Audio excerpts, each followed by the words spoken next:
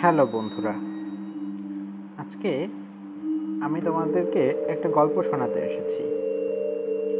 গল্পটার নাম দিন দুপুরে ভূত। লেখক বুদ্ধদেব বসু। হাজরা মোড়ের রোডে ট্রামের জন্য দাঁড়িয়ে আছি। বেলা দুপুর। বালিগঞ্জের ট্রাম আর আসে না। এদিকে ভাদ্র মাসের রোদ্দুরে পিঠ চড়চড় করে ফুটছে আলপিনের মতো।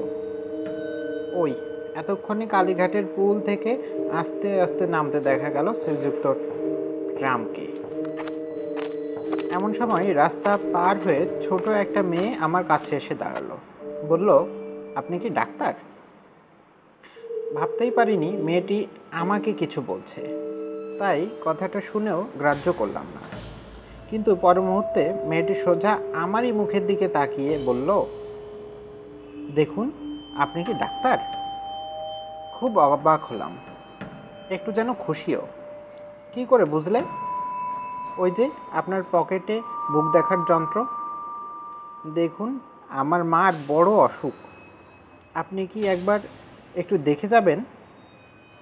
মেয়েটি এমনভাবে কথা বলল যেন এটা মোটেও অদ্ভুত কি অসাধারণ কিছু নয়।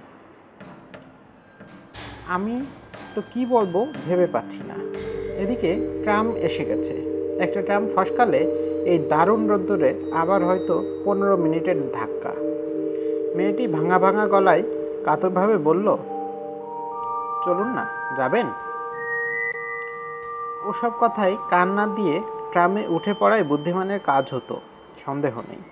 কিন্তু কেমন দোটানার মধ্যে পড়ে গিয়ে পা বাড়াতেই পারলাম না। ট্রামটা মোড় ঘুরে আমার চোখের উপর দিয়ে ঘটর ঘটর করতে করতে বেরিয়ে গেল। যাবেন তো? কোথায় তোমার বাড়ি? চেতলায়। এই কাছেই। কি হয়েছে তোমার মার? কি হয়েছে জানি না তো। বড় অসুখ? কতদিন অসুখ? অনেক দিন। ডাক্তারবাবু, আপনি যাবেন তো? মেয়েটির ম্লান মুখের দিকে তাকিয়ে আমার কেমন মায়া হলো। ভাবলুম, যাই না, দেখে আসি ব্যাপারটা। বললুম, চলো। ডাক্তারবাবু, আপনাকে আমি তো টাকা দিতে পারব না। মেয়েটি আরও কি বলতে গিয়ে ঢোক গেলে থেমে গেল। আচ্ছা আচ্ছা সেজন্য ভেবো না, আমি তাড়াতাড়ি বললুম। নতুন পাশ করে বেরিয়েছি। আত্মীয় স্বজন মহলে ডাক খোঁজ পড়ে মাঝে মাঝে, কিন্তু ভিজিট দশ টাকা যে মাসে পাই সে মাসেই খুব বেশি। এই তো, এক বন্ধুর ছেলের নিরানব্বই বুঝি জ্বর হয়েছে। ট্রামের পয়সা খরচ করে এসে তার প্রেসক্রিপশন লিখে দিয়ে এতক্ষণে আড্ডা মেরে বাড়ি ফিরলুম। তবু এই মেয়েটিই যা হোক টাকার কথাটা মুখে আনল। হেঁটে রওনা হলাম মেয়েটির সঙ্গে কালীঘাট পুলের দিকে। জিজ্ঞেস করলুম, তোমার মাকে আর কোনো ডাক্তার দেখেননি? ডাক্তার? না। মা বলেন, ডাক্তার দিয়ে কি হবে? এমনিই আমি ভালো হব। টাকা পাবো কোথায়?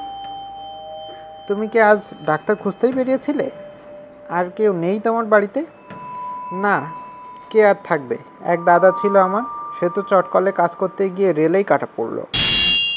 সেই থেকে আমি আর মা। বেশ তো ছিলুম আমরা। এর মধ্যে কেন অসুখ করল মার? ডাক্তারবাবু, মা কতদিনে ভালো হবেন? আমি ডাক্তারি ধরনে হেসে বললুম, সে এখন কি করে বলি?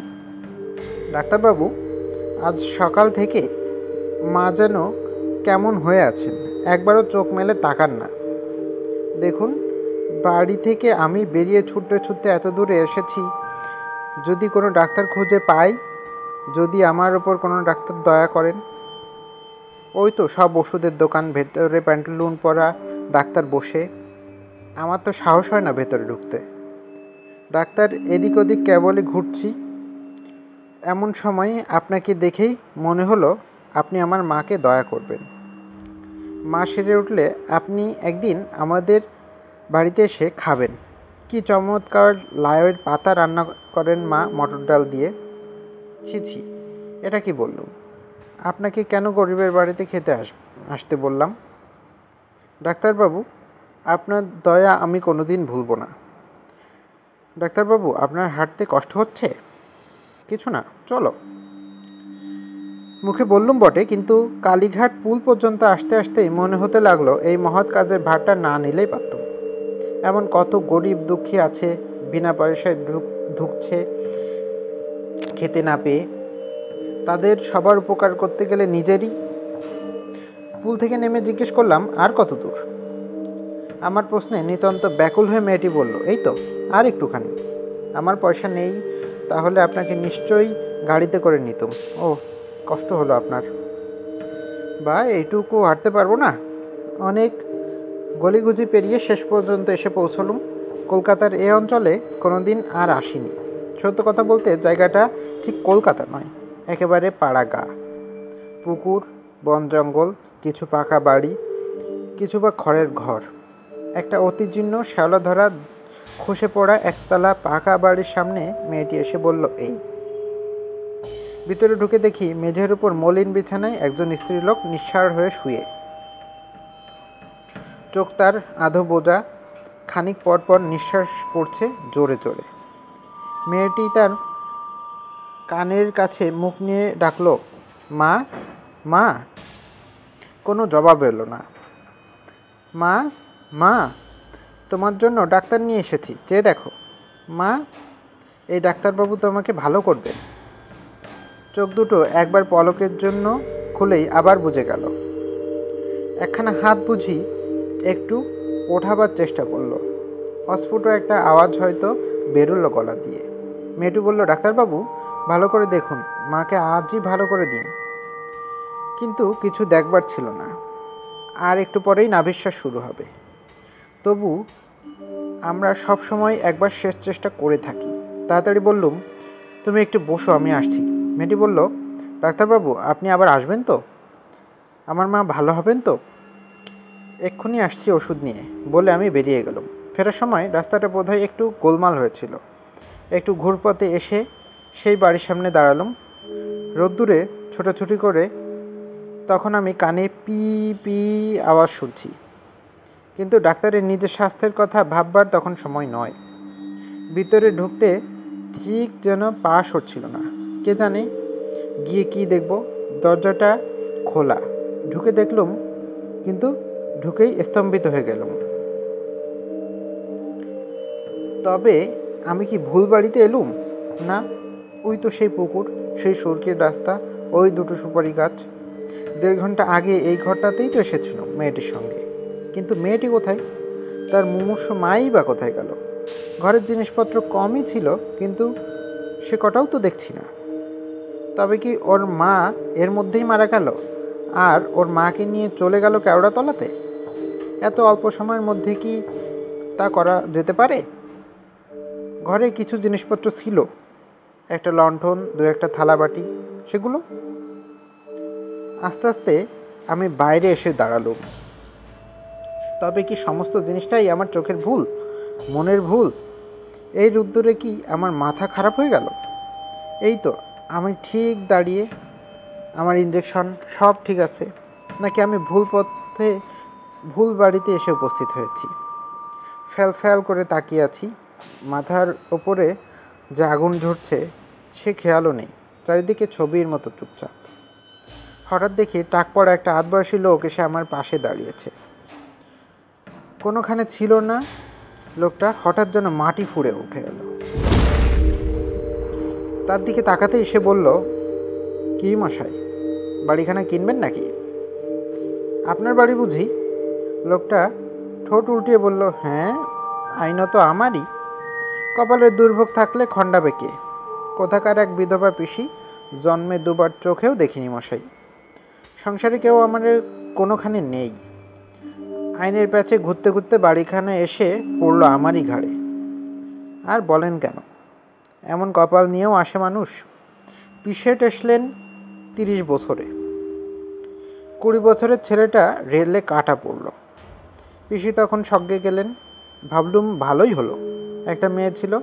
হঠাৎ থেমে গিয়ে অন্যরকম একটা সুরে লোকটা বলল, ওসব লোকের কথাই কান দেবেন না মশাই। একদম বাজে কথা। আমি কথা বলার জন্য হাঁ করলুম, কিন্তু আমার গলা দিয়ে আওয়াজ বেরোবার আগেই লোকটা বলে চলল, ওই তো এক ফোঁটা বারো বছরের মেয়ে। তা মাটা যেদিন অক্কা পেল, পরের দিন ও দিব্যি কড়িকার থেকে ঝুলে পড়ল। একখানাই শাড়ি ছিল পরনে, সেটা দিয়েই কম মশাল কি ডেপো মেয়ে মশাই।